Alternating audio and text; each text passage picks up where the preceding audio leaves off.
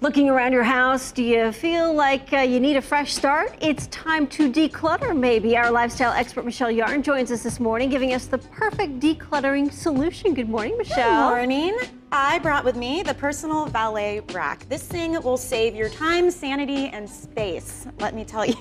Especially when it comes to couple sharing closets. Yes, and you know, the guys always seem to get gypped with the closet space, so maybe this is good for the men in your, man, or men in your Yeah. life.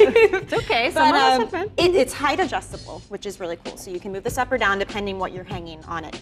And for an example, you can do clothing, accessories. I like to put my purses and belts on it as well. And this is just an example, but you can hold up to 50 garments. on 50 this. garments It's that S thing. shape too. It gives you a lot of space to really pack it in there. Oh. Perfect for dorms also, or if you have a really tight closet space. Some homes don't even have closets. So it'd be nice to have, and it keeps it organized, black and white. It's really sleek looking So you can get it in black or white. in black or white. And this is a single rack, but you can do a double rack as well. So you could have one here. So let's say you are using it for the Oh. men. They could hang their pants on the bottom, shirts and jackets on the top, perhaps. I don't know. You could switch it up. It's so versatile. And this thing's mobile. Yes, it's mobile. It's on wheels. It's so easy. I mean, it's actually really nice for here at work. I was rolling it around the studio, Yeah. which we could absolutely use here with our clothes. And this would be great in the bathroom too. Yes. For towels, bathrobes. That's a really great idea. Yeah. And even in a guest room, let's say maybe you have a guest room that doesn't have a lot of closet space, then your guests can still unpack and hang their things up here, no problem. What are we talking price wise for this and baby? it depends what you get. If you get the single, it's 109.95. Okay. If you do the double, it's